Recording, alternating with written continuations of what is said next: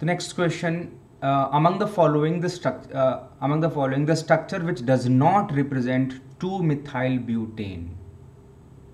So very simple problem.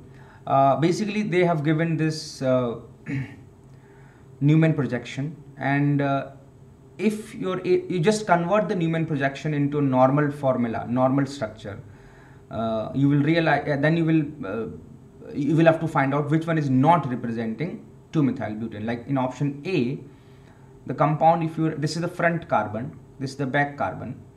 So on the front there is a cc bond between front and back carbon. This is front this is back carbon. On the front carbon we have a methyl group and we have ethyl group. On the back carbon I don't have any alkyl group.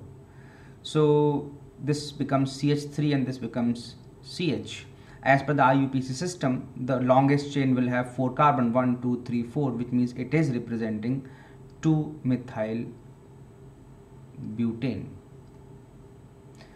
Option B you can directly see in, in this uh, form only 1, 2, 3, 4. There is a 4 carbon chain and on the second carbon there is a methyl group which means this is also representing 2 methyl butane.